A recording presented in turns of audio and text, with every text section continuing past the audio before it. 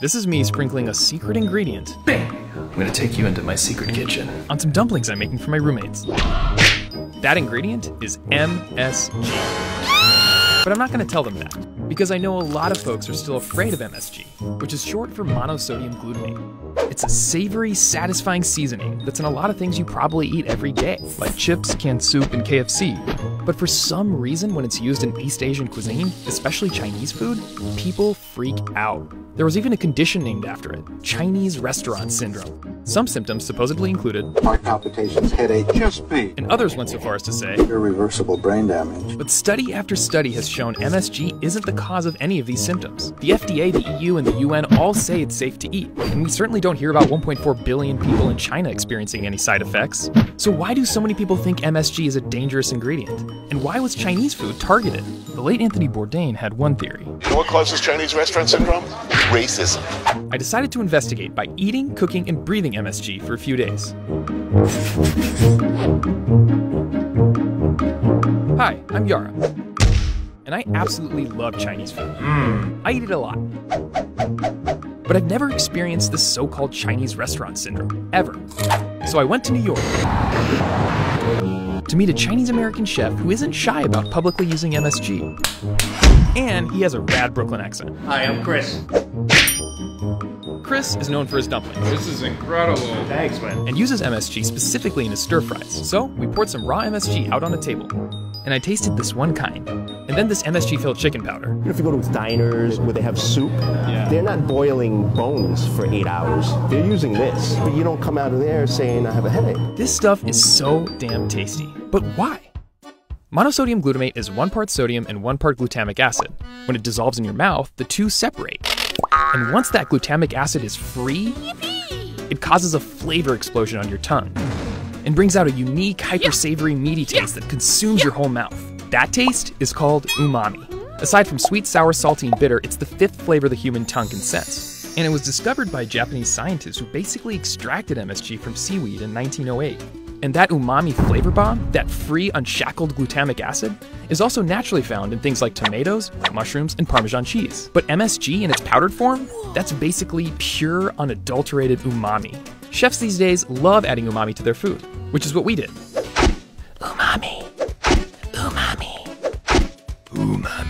And then we sprinkled on one final source of Umami. MSG. It's as a finisher. You want to just a little bit and use it sparingly. When I was in China, though, they were a little bit more generous. I was always a little bit, li- little cheap with it. And then they go, no, no, no, no, no. Oh. Scoop, right? Wow, that's so, So Absolutely nothing happened. No headaches, no palpitations, no nausea. If you go to China and you go to the supermarkets in China, you're going to see aisles of MSG like you would see here for cereal. We're talking about MSG. There's a little bit of racist undertones to it. You know, some of the older crowd will come over and they'll be right to your face. They'll be like, "You don't cook with that MSG stuff, do you? I know you're from China, but you're an American now, so you got to do things the way we like it." But how did MSG come to get such a bad rap? I wanted to know. Is there actually any definitive science that links MSG to those negative symptoms we've read about? And Dr. Ken Lee is going to help us get to the bottom of that science. Yara, please call me Ken. All right. Ken is a food scientist with a passion for MSG, and New York's Chinatown is his old stomping ground. That, that used to be my uncle's meat market. It's now a poke bowl. What? Did your parents cook with MSG? Absolutely. It's just like salt and pepper. MSG is an essential ingredient of Chinese cooking. Is there any like double-blind scientific study that proves any of the health symptoms? I can say absolutely not. In a scientific study where people don't know what they're eating, Okay. so they're fed MSG or a placebo, a sugar pill. Sure. People on the sugar pill develop symptoms as well. Could even be psychosomatic. A little bit of chemistry here. Glutamic acid is a component of protein. Hmm. Okay. Okay. You and I are both made out of protein. Yeah. It's already in you. Yeah, it's in you too, and it's everyone that's watching this video. So, how did the stigma against MSG come about? In 1968, a Chinese American doctor wrote a letter to a major scientific journal. He claimed that whenever he ate at Chinese restaurants in the US, he experienced numbness all over his body, general weakness, and heart palpitations. His letter was titled Chinese Restaurant Syndrome. He suggested it could be caused by a number of things, including MSG. Readers then wrote in, talking about their own symptoms, and scientists started studying it too. But a lot of the initial research was faulty. Scientists messed up by assuming MSG was already the culprit, using ridiculously high doses of it, and failing to use placebos properly. But it was one study in 1969 that caused a massive panic. It famously injected MSG under the skin of mice, leading them to develop brain lesions. No human would actually consume MSG that way. No, but actually, good point. If you just took pr- common table salt and injected it under your skin, you could induce a real toxic state. Right. Solid scientific research came out debunking MSG myths in the next few decades. But it was too late. No MSG signs had already popped up around the country. Everybody hears the accusation, and nobody tunes in when they hear the verdict of not guilty. So that's what happened with MSG. It's amazing. Just one letter, a bunch of flawed science, and an entire cuisine, an entire people stigmatized. But here's the thing there's a huge double standard. We actually eat lots of non Chinese foods with MSG, but you don't hear about people getting sick from them. We're gonna go pick up some uh, foods and snacks that have MSG in them very openly. Good idea. All of these have MSG in them. However, when it's in these, it doesn't seem to generate a controversy. You won't find a label on any of these products, be you know MSG free, because MSG is accepted as a generally recognized as safe substance by the Food and Drug Administration. What are you feeling? A Dorito. Doritos? Yeah. Okay. Clink. Oh, hey, Oh god. Savory. I'm not having any reaction. Is there like a small percentage of people that have reactions? Yeah, absolutely. What's more likely is they're reacting to other ingredients that are in that wonton soup or whatever they attributed the MSG to. Why do we distrust foods like MSG because it's used extensively by Asians? It's just ignorance. So, if MSG is in all these Western foods, why do people freak out when it's in Chinese cuisine? We met up with Sarah Lohman. Sarah wrote a book about the eight flavors that make American cuisine, and MSG is one of them. We met up with her at the Museum of Food and Drink, which has an exhibit on Chinese food and MSG. MSG is to savory as like a Sour Patch Kid is to sour. It's like the most pure form of savory. This is just a bowl of MSG, right? Yes. Should we try it? Yeah, let's do a little. Mm-hmm. Ah. Nothing happened. But first, we had to order some Chinese takeout. Is the food here? The food is. Oh my god. So, Sarah explained Chinese restaurant syndrome. Like that's xenophobic. You're essentially blaming an immigrant culture for making people sick. A lot of racism against other cultures revolves around this idea that like you're not even human. Look at what you're eating. It's full of this poison MSG. But how did MSG get to the US in the first place? After it was discovered in Japan, MSG made its way to China and became super popular, and Chinese immigrants then brought it with them across the Pacific.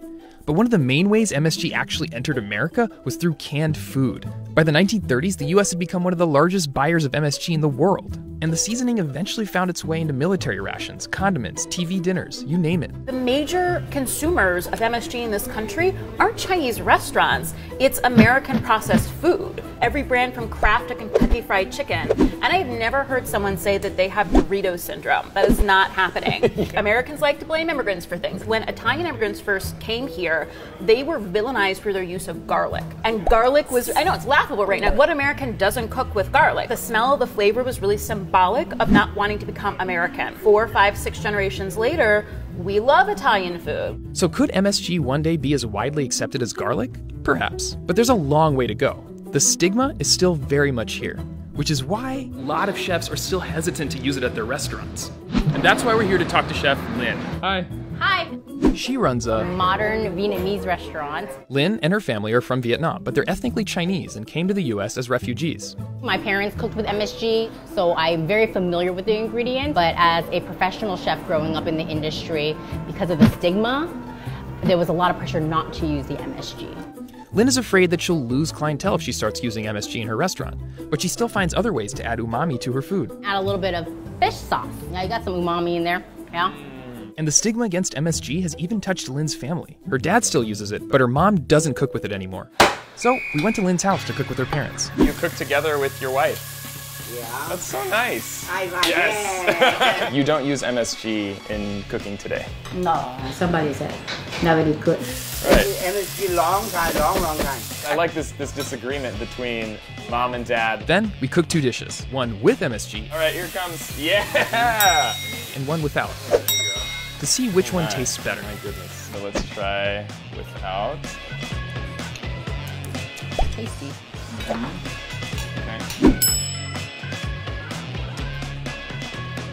Yeah, this one definitely has, I think, a little more fuller feel to it. Kind of coats your mouth. It really brings out the other mm. flavors that are in mm. there.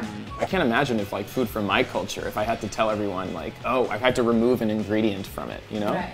I feel like that would just be a really sad day for me. Like, The experiment we did at Lynn's house, of course, brings me back to the experiment I started the video with secretly feeding MSG to my roommates. PSA do not secretly put stuff in other people's food, it's a bad idea, do not do this at home. So what's the deal with these dumplings? What's in them? MSG. Hell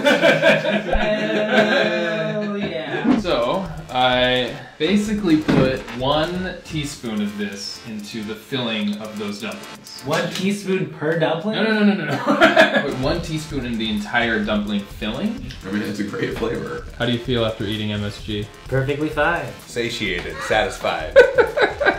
My roommates loved the taste and didn't get sick. And of course they didn't, because, well, the science says MSG is perfectly safe. What I learned by making this video is that people are afraid of MSG for a number of reasons. There's the initial flawed research, there's the rumor mongering, or racism. But things are looking up. A new generation of Asian American chefs are taking back the narrative. So I hope the next time you order some Chinese takeout and someone starts talking about getting a headache or something else, you'll be able to tell them. It's not the wonton soup and it's not the MSG. It's probably just in your head. I hope I've convinced you guys there's nothing to fear about MSG. That doesn't mean you should just go about dumping tons of it all over your food. Just like salt, or really anything in life, consume it in moderation. Anyway, share this video with friends and family who think they get headaches from MSG, and see how they react.